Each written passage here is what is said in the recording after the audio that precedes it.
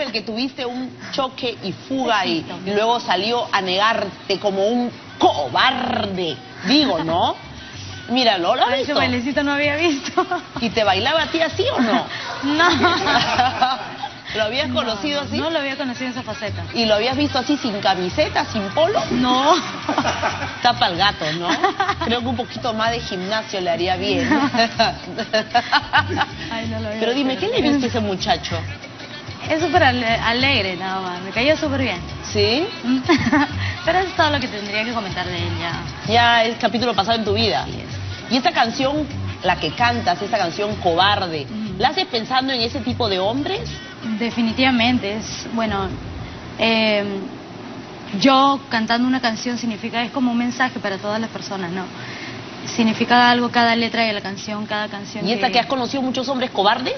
Hay muchos hombres cobardes, como hay Sí. otros que no, no se rescatan. en ¿Y ahora tema. que andas con alguien así menos cobarde?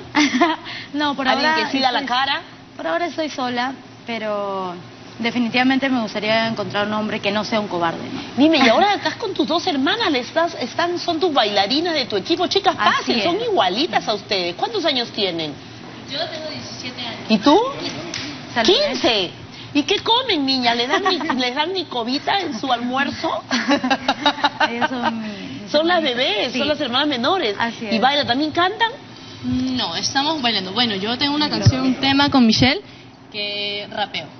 Ya, ¿Y tú? 15 añitos tienes, 15 añitos. Sí, ¿Estás estudiando? Sí. ¿Y tu mamá te deja salir así a la calle? A la calle con mi Ah, hermana. con tu hermana. Sí. Ya.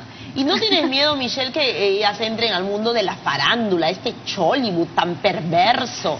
Y por ahí se desvíen del camino, se encuentren un mal hombre, un Raymond Manco por ahí. Ay, no, para eso estoy yo. Ah, ya. para agarrarlo. No, definitivamente es súper difícil, pero yo me siento emocionada de que ellas sigan mis pasos.